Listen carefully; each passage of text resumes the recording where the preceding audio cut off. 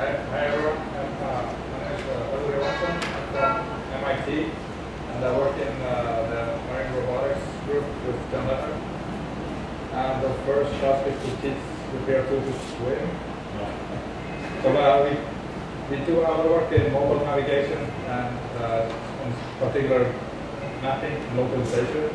So our project for the PR2 is basically try to teach it to live in a startup this is uh, where are located. Uh, Living status, you say it's short for robust autonomous navigation environments for extended period of time. So basically, living startup. Uh, uh, some of the challenges that we want to have the robots uh, operate for a long duration of time in, in large environment is uh, first, of course, we have to think of how we can effectively uh, manage uh, maps of large environments where you can, robot go between uh, multiple floors. Uh, the Stata building is, I think, 11 floors size and 700,000 square feet. Uh, another thing when we go and start to operate for long durations is uh, the dynamics of the environment. the picture on the right is where we start as the student street and it's usually crowded with people? and can we have robots uh, navigate through a lot of uh, uh, people walking around? And then over a long time, just dynamic changes in the environment where there are new offices, new roles placed in the environment.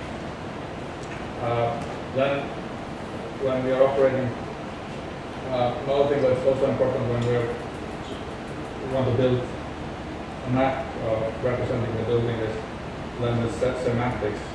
Uh, we have to, when we have a building with elevators, we have to know where the elevators are so the robot can uh, go and, and use, use those effectively and has to have knowledge about doors, offices, and other, other types of things. So that's another thing we're interested in, in trying to augment the information of a map, not being just a spatial representation of uh, where the right uh, robot can drive, but also have uh, additional information. I think for the PR2, of course, particularly important is to know where there are stairs, so we can avoid those areas. Uh, several places where I guess could easily drop down. So some of the solutions we want to then bring to uh, the PR2 is uh, one of uh, Michael Kaess in our group has worked on uh, developed a software called incremental smoothing and mapping.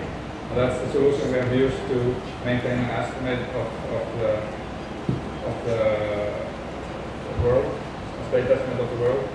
And here's an example of uh, just a 2D laser scan map of one of the floors in the cell building.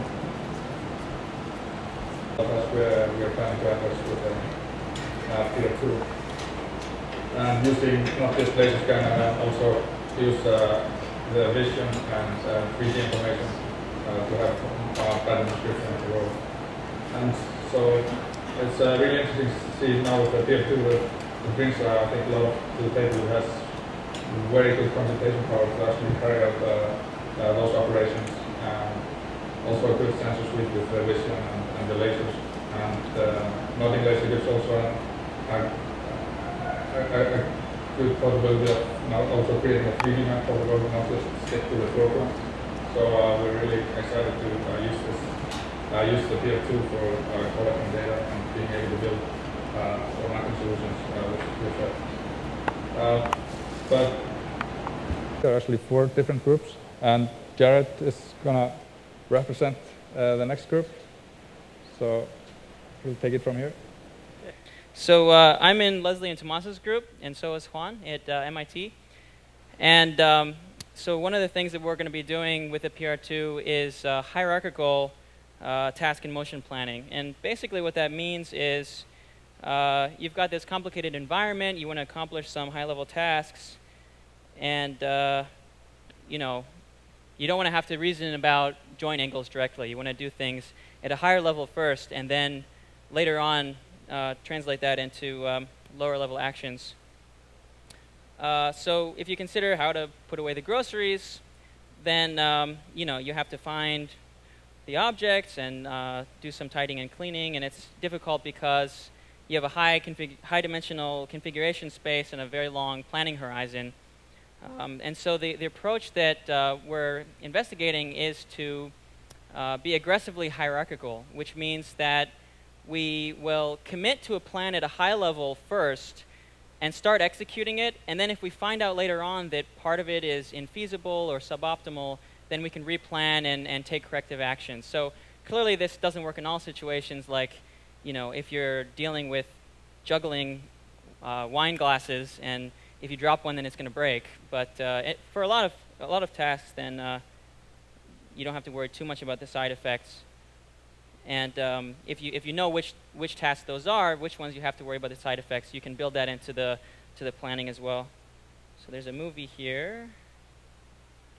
And so this is just one simple example of uh, a robot in simulation tidying up a room using this, uh, this type of approach.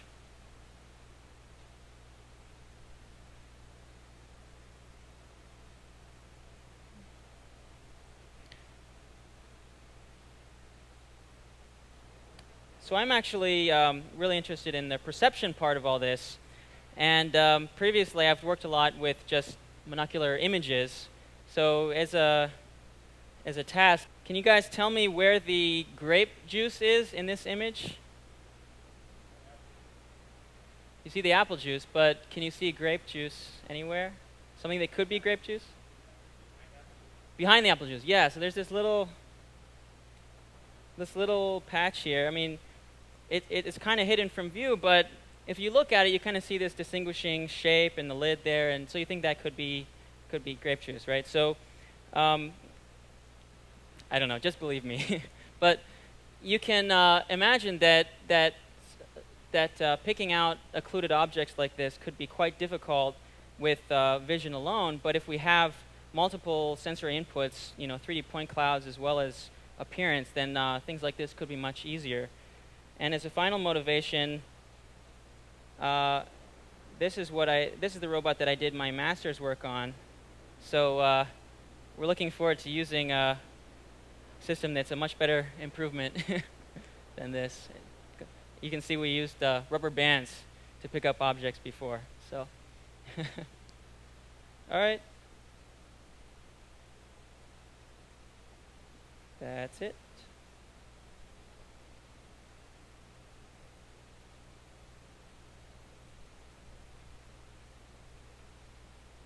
Thank you.